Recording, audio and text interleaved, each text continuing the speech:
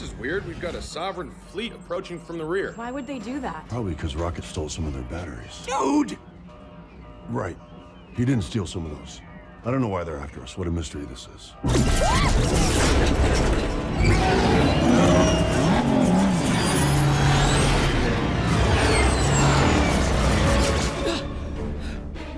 Were you thinking? Dude, they were really easy to steal. That's your defense? Come on, you saw how that high priestess talked down to us. Now I'm teaching her a lesson.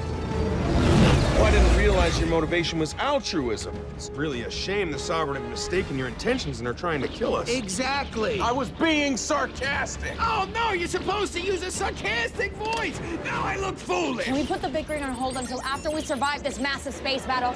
More incoming! Good. I want to kill some guys.